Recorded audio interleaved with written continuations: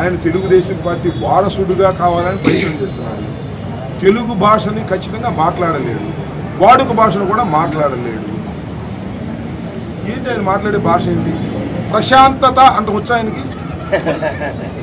ప్రశాంతత అంటే ప్రశాంతత అంటున్నాడు. అదేమో మరి బాలకృష్ణ గారి భార్య వసుంధర ఆయనకి వసుంధర అత్త. ఈ ప్రశాంతత ఎప్పుడు వచ్చిందో మాకు అర్థం కాల. కన్ఫ్యూజ్ అయ్యా. కన్ఫ్యూజ్ అయ్యి ఏంటయ్యే ప్రశాంతత? అంటే లేదండి ఆయన ప్రశాంతతని ఆ విధంగా ఉచ్చరిస్తారు అన్నాడు. మొన్న ఏదో వైశ్యం ఏమన్నాడు? వైశాలి. అంటాడు. ఏందో నాకు అర్థం.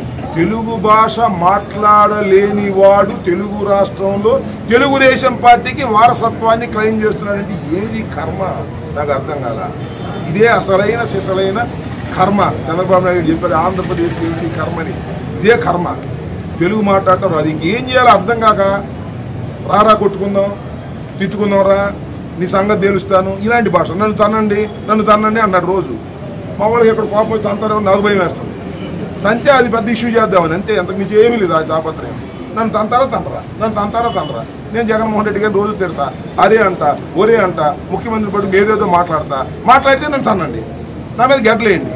నన్ను తనండి గెట్లేయండి. అప్పుడు నేను పెద్ద అయ్యో నన్ను గెట్లేసారు నన్ను తన్నారు అని బాగా గొడవ చేసుకుంటారు. లేకపోతే జనం కూడా రావట్లేదు. ఏమిటి ఈ దౌర్భాగ్యం నాకు అర్థం కాదు. ఈ రాష్ట్రంలో అనేక మంది పాదయాత్రలు చేశారు. ఇంత దౌర్భాగ్యమైన పాదయాత్ర ఎవరైనా చేశాడు ఇంతవరకు? ఎవరు చేయలేదు?